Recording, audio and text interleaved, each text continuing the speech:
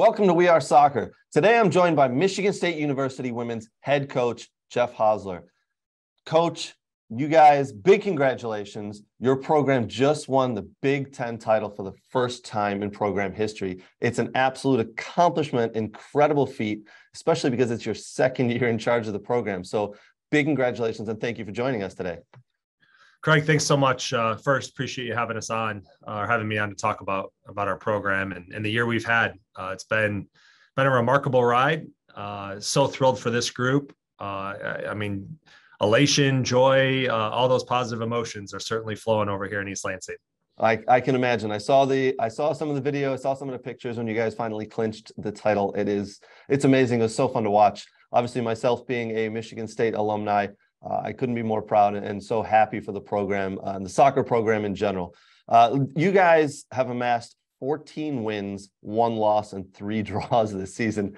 I don't care what league you're playing in, what division, whatever it is. That is an amazing record, and you guys have done it in the Big Ten in Division One. Uh, it, that's incredible. I've got to say, how have you been able to to set the the team up and keep them so focused throughout the year? Yeah, well, I appreciate that, uh, and, and, I think you're spot on. Uh, I've coached it all. I've coached Division three at Alma, Division two at Grand Valley, and now Division one here in Power Five. And man, winning college soccer games is really tough. The parity across the board, the level of talent across all divisions, all levels is incredible. Um, it's a uh, you know, soccer is also a funny sport sometimes. You know, like the ball can bounce one way or the other. But I, I can say with a lot of confidence that I think we've we've deserved the results we've had. Um, you know, throughout the course of play, throughout the course of the season. Uh, I, I, think what's really special about this group is their ability to come back the next time, give their best effort. Uh, it's one thing that we talk about all the time. You know, we started in August after our first exhibition. We played really well. Um, we put up a lot of goals. Uh, and one of the things I talked to the team was that, you know, this isn't a like we got to strive to to have success, and then and that earns the opportunity to do more that earns the opportunity to come back more focused, more prepared, uh, play in bigger moments. And they've really adapted that philosophy and that idea this year. You know, young people today, especially, you know, everyone wants instant gratification. They want to be able to have success and take a day off, uh, those different things. So um, they want to come back. You know, uh, I pulled in the parking lot. We train three to five. Uh, I pulled in the parking lot today and I saw seven of our kids out on the pitch uh, getting some extra reps in, get some reps on their own uh, that's just how these kids are wired. They want more. They want to be the best they can. And uh, for all the the five top 20 wins we had this year, honestly, it's the ability to come back the next day and get the wins against those teams that that maybe you're supposed to, or externally people right. believe you're supposed to beat, uh, to come back, play well, and get results on those days too. That's incredible. I love the fact that the players are getting in there, doing, getting extra reps, getting on the field, doing extra weight room, doing extra because that's what it takes. These days, everybody's good everybody has a little bit of a competitive nature but it's the players that put in that extra extra little bit of work that really make it make a program and make themselves succeed so that's great to hear something else you touched upon was sometimes in soccer unlike a lot of other sports uh, things don't go your way, or you could be the best team on the field. And as coach, I used to play for Coach Baum. He used to say, The soccer gods did not shine on us today. I think you guys, with the work ethic you have and the way you've played, the soccer gods don't stand a chance. You guys just steamroll teams and do so well outplaying teams. Is that due to the fact that players are getting in early, putting in extra reps and putting in that extra work?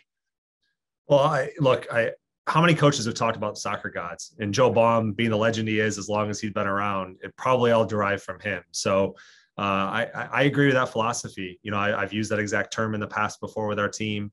Uh, you know, I, I, think sometimes your own luck or your own destiny is created from some of those moments. Um, and there's no question we're a team built on like commitment and work ethic and toughness, grit. Like those are key words that we talk about and define all the time within our program. So I think when you play within that type of context, yeah. uh, things tend to go your way. Uh, we play a lot of passion, we play a lot of heart. Uh, I think we have a group that's all in. Um, we have players, you know, that like this has been an interesting transition for us because uh, to come in last fall and jump to an undefeated non-conference schedule to win five games in the Big Ten and finish with 10 wins in, in year one. Um, we had a lot of players last year that were starting playing 80, 90 minutes in a match. Hmm. And now as our, our team has more depth, um, it's deeper from top to bottom in terms of talent.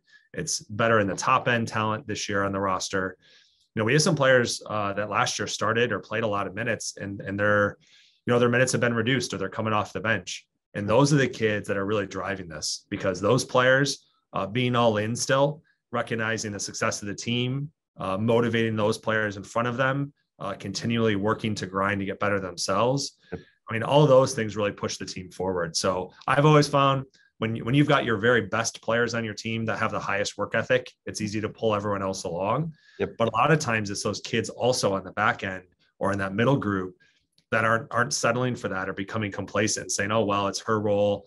You know, maybe next year. They're grinding every day to still be the best player they can be, but most importantly, the, be- the best teammate. Uh, that's that's great to hear. Absolutely great to hear. And last year you guys made the Big Ten tournament. This year you've made the Big Ten tournament as the number one seed. So actually, I, I looked it up for the second time in ten years. You've made the program has now made the Big Ten tournament, and this year you've got the number one defense in the nation. You've only allowed seven goals. Is that where your team's built from? Are you are you building out of the back, moving forward? You're more concerned about stopping goals, making sure you shut down the other team, and then just letting your creative players do what they need to do up top. But it's based on defense. Is that what I'm? Is that what I'm picking up here? Yeah, Craig. We're probably the anomaly, or uh, you know, anom- anomaly in college soccer right now. Um, I, I think college soccer goes through these ebbs and flows of being really direct. Mm-hmm. Uh, then it becomes possession oriented you know, look, I, we, I tell us with recruits all the time. Every coach says they're possession oriented, but that means something different to you and I and, and, anybody else. For me, knocking the ball around two, three times in the back and then always smashing it forward in a channel is not possession soccer. Uh, one of the things that I think is really important in the game is yes, we are built on our defensive foundation. Um, to only concede seven goals through 18 matches is, is pretty incredible in and of itself. Uh, the way the game is played today. Uh, but above and beyond that, like I, I, think it's really critical you have possession and have sustained possession to be able to take this thing out of the attack. And I learned this from my college coach. If we have the ball, they can't have, they don't have it, they can't score. And so sometimes your best defense is the way you approach your attack. So we're very meaningful in our possession. Uh, our goalkeeper has not punted uh, outside of the last five minutes of a match uh, when when you're playing game situations. So everything is a build out. Uh, we've played some of the best high press teams in the country. Arkansas often presses with four, five, six players high. Mm-hmm. We still build out and find overloads. Um, we're comfortable playing possession in our own box uh, with numbers around the ball. So we really try to bring numbers, uh, bring numbers to us so that we can play around uh, or beyond them and then get after it. So you have to have the right makeup to do that. Obviously, we have an incredible goalkeeper with her feet, Lauren Kozal, uh, the very best goalkeeper in the country, in in my opinion. Uh, but above and beyond that, we have midfielders, uh, we have strikers that are comfortable coming into half spaces, picking up balls, going on the dribble, and having a lot of combination play. So, yeah, our offense has been overshadowed uh, by our incredible defense, but I think any offense would when you've only conceded seven goals. Uh, but at the same time, I think we're at 34 goals on the year, which is uh, a stark increase and, and one of the top offenses in the Big Ten. Absolutely. You have absolutely changed that program around. As you said, for the first time, I think in program history, you've got several players who are being recognized nationally and first in their position or in offense or defense or goalie. So that is absolutely incredible. And it's a testament to you. Do you and your staff, by the way, you and your staff have come in and taken a Michigan State program, which in the last several years hadn't been very I don't say hadn't been very good, but had been languishing a little bit, and you've turned it around in such a short period of time. You and your staff have done a phenomenal job. You specifically, coach, you played at a really high level as well. Do you take a lot of the knowledge that you gained from those college coaches that you played for and worked for, and have kind of kind of brought that up to Michigan State, the women's program here? And is that is that really what it is? Um, because you know, a lot of days you said like now the soccer has changed from where it was 20 years ago when you and I were playing in college, but it's still there's a lot of things that you can take from 20 years ago and bring forward with just a small adaptation. Um, so it, it, is that kind of where you in college kind of thought I want to go on to coach. I want to take some of these philosophies that I'm learning and bring it uh, into my um, into your thinking when you coach. Yeah, I, I mean, I've certainly been fortunate and not just in college with the coaches that I had, but but even back in high school and youth. Um, you know, we had some incredible club teams uh, with with a really young coach uh, named Thomas Olivier that that went on to coach collegiately at Marshall on the men's side. Um, did some really big things for us. Uh, played around and played with some incredible players. You know, you may have had Chad Wiseman at Western Michigan on. He's a good friend of mine still to this day. Uh, we grew up playing soccer and basketball with and against each other. I won't tell you who won most of those games. Uh, and then, uh, you know, my high school coaches, I mean, in basketball, I had some, some Lansing legends uh, and Rod Watts, Carlton Valentine, Chris Ferguson that all coached. Uh, we're incredible legends here in the Lansing area. Mm-hmm. Nick Archer, the winningest high school boys coach. Uh, well, winningest coach. I'm not sure if it's boys or, or, or winningest period, but sure. you know, Nick Archer and another Spartan uh, that you know was an incredible high school coach at East Lansing High School for many many years, and then Scott Frey in college in particular. Um, you know, we went to a Final Four my sophomore year. We are the first Michigan school since the '60s to make a Final Four in any division. Wow. Um, you know, Scott uh, went on to coach at Messiah College, winning multiple national championships on the women's side. So I've learned a lot from the people around me. Been blessed to play with and against some incredible players uh, along the way that have helped pave this. And the, the game goes in in cycles. You know, like it's wild to me when you and I played. Everyone was playing 4-4-2 sweeper stopper. Everybody with outside yep. mid.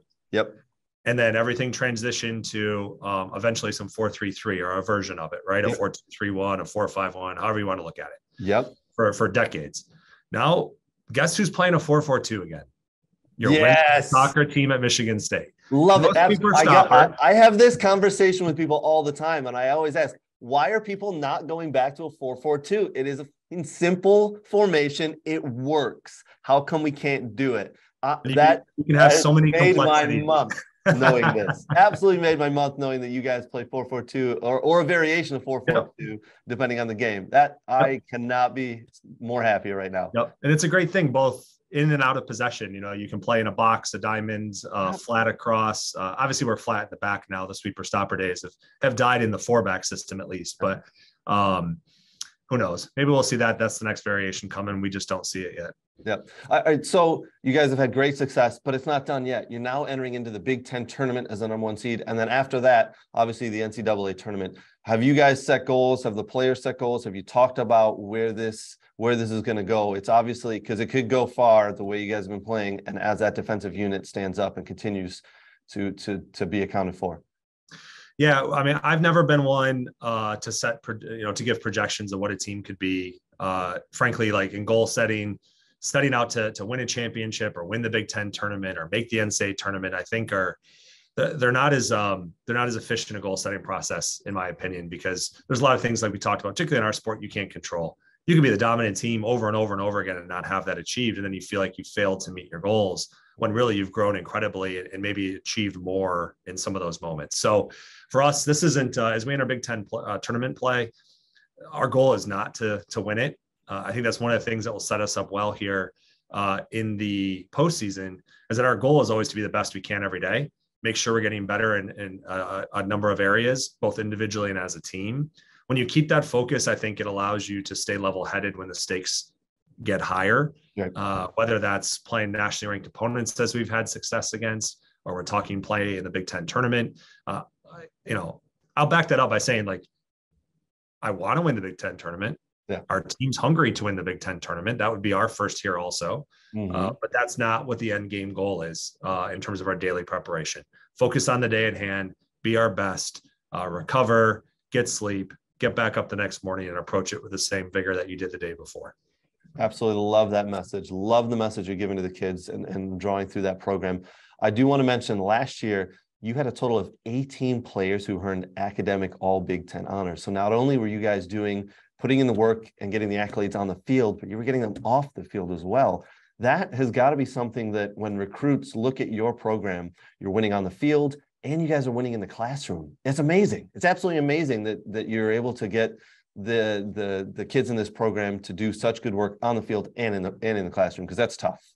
Yeah, to have the well-rounded experience and do it here uh, with as elite as as Michigan State as an institution has become academically. Uh, and these are not kids taking fluff, you know, fluff majors. These are kids taking kinesiology and pre-med and part of the Eli Broad business program and even part of the honors college. So they're they've got a lot on their plate. Uh, and they're still able to focus and, and ha- highly perform on the soccer field. They're obviously doing that in the classroom. Uh, we had one of the top three GPAs, I think, in the athletic department last year, over a three wow. five. Uh, and that also showed not just in the Big Ten, but in the region. You know, we had, I think, four different United Soccer Coaches Scholar All Region players. Uh, Lauren Kozal was uh, first team All America, Scholar All America last year for United Soccer Coaches. So, you know, we talked earlier about work ethic. Like when some of your best players have the best work ethic, you can bring everybody else along. When the very best goalkeeper in America is also a scholar All America, uh, I think it shows the intention uh, behind what we do. Absolutely, coach. That is something you uh, should be immensely proud of uh, on the field and off the field work these kids are putting in. Again, congratulations uh, uh, on winning the Big Ten this year, the first in the women's program history for the soccer. It, it's amazing. I can't be more happy for you guys and happy as an alumni. And you have made my you may, you might have made my year by telling me you guys play four four two and a possession based and you don't punt. Oh my gosh, coach. Thank you so much. We wish you well in the Big Ten tournament and we wish you well into the NCAA tournament and for future success in the program. Appreciate it so much. Being a fellow Spartan, we probably should sign off correct. Go green. Go right. Go white.